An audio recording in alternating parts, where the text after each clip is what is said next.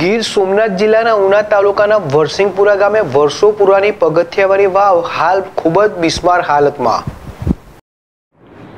વરસિંગપુર ગામને એક છેડે આવેલ આ પૌરાણિક પગથિયાવાળી આ વાવમાં એકસો વીસ પગથિયા અને પાંચ માર આવેલા છે. દરેક માર પછી નાની પ્રાંગણ બેઠક છે. પહેલાના જમાનામાં આ વાવની ઉપર વટેમાર્ગોના વિસામા માટે ગુમ્મટવાળી ચાર બેઠક બનાવવામાં આવેલી છે. વાવની ડિઝાઇન અંગ્રેજીના એલ જેવી છે. હાલમાં પણ આ વાવમાંથી ગ્રામ પંચાયત દ્વારા પીવાનું પાણી ઉપયોગમાં લેવાય છે. આશરે તેરમી સદીમાં આ વાવનું બાંધકામ એક જ રાત્રિ દ્વારા કરવામાં આવ્યું છે. તેવી લોકવાયકા છે જોકે આ અંગે કોઈ નક્કર પુરાવા કોઈ પાસેથી જાણી શકાયા નથી. હાલમાં વાવની પશ્ચિમ દિશામાં મસ્જિદ છે, જ્યારે વાવની સામે ઉત્તર દિશામાં હનુમાનજીનું મંદિર છે. વાવની ઉપરના ભાગ ઉપર કુલ પાંચ મંદિર આકારના ઘુમ્મટ છે. જેમાં શરૂઆતના બે ગુમ્મટ નીચે પડી ગયેલા છે અને હાલ ત્રણ ગુમ્મટ મોજૂદ છે.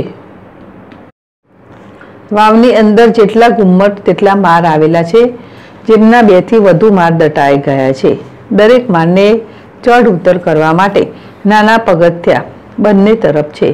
વાવ બનાવવા માટે દરેક પથ્થર ઉપર ખૂબ જ બારીકાઈથી અદ્ભુત કોતરકામ કરવામાં આવ્યું છે. વાવની ઉપર આવેલ ચારેય બેઠક અને બેઠકની ઉપરનું છત અને તેના પિલોર ઉપર બે નમૂન નકશીન કામ કરવામાં આવ્યું છે. આ વાવના બાંધકામના ચૂનો કે સિમેન્ટ કે કોઈ અન્ય પદાર્થનો ઉપયોગ કરવામાં આવેલ નથી. તેમ છતાં, તેની મજબૂતાઈ એ એક ખાસ વિશિષ્ટતા છે. તેની કારીગરીની ખાસિયત બતાવે છે. આ અકલ્પનીય બાંધકામમાં આવેલ કૂવામાંથી હાલ પણ લોકો પાણી પીવામાં ઉપયોગમાં લે છે. હાલ આ વાવના ગામના છેડે આવેલ છે અને ખૂબ જ જીર્ણ અવસ્થામાં છે. વાવની આજુબાજુમાં ઝાડીઓ અને કાંટાળા ઝાડ ઉગી નીકળ્યા છે, જેની સફાઈ ગ્રામ પંચાયત કે કોઈ સરકારી ખાતા દ્વારા કરવામાં નથી આવતી.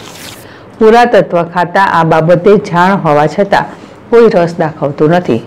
જાગૃત શિક્ષક દ્વારા પુરાતત્વ ખાતાને જાણ કરાયેલ અને પુરાતત્વ ખાતા દ્વારા સ્થળ પર આવીને અજાણી લિપિમાં લખેલ પથ્થર અને બીજા એક પથ્થર ઉપર સ્ત્રી પુરુષની આકૃતિવાળો પથ્થર એમ બે પથ્થર સાથે લઈ ગયેલ.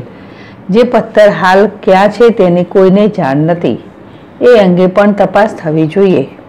હાલ આ પથ્થર ક્યાં છે? જો અતિ પૌરાણિક વાવને પુરાતત્વ વિભાગમાં સમાવવામાં આવેલ છે કે નહીં એ અંગે પણ કોઈ ખ્યાલ નથી. આ વાવની જાળવણી કરીને એક પર્યટક સ્થળ તરીકે વિકાસ કરવામાં આવે, તો આ વાવ નષ્ટ થતાં બચી જાય તેમ છે. આ વાવના વિકાસ થવાથી આ ગામનો પણ વિકાસ થઈ શકે તેમ છે.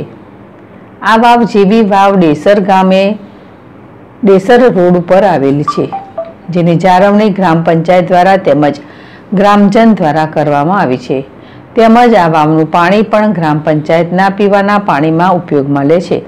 આ વાવ ચૌદમી સદીમાં બની હોય તેવું કહેવામાં આવે છે. આ વાવ પણ પાંચ માળની છે.